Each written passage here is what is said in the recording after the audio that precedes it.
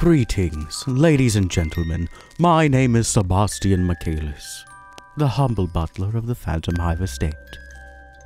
I haven't much time, so I shall make this concise. I will be streaming on live on the 13th of March, 2021, at 10 a.m. Eastern, 7 a.m. Pacific, and I would be honored if you would join me. However, there is but one stipulation. You cannot tell Ciel. I'm sure you must be asking yourself, why would we want to hide this from the young lord? Well, let's just say we'll be making a special surprise for him. Should this go off without a hitch, it shall be a time long remembered.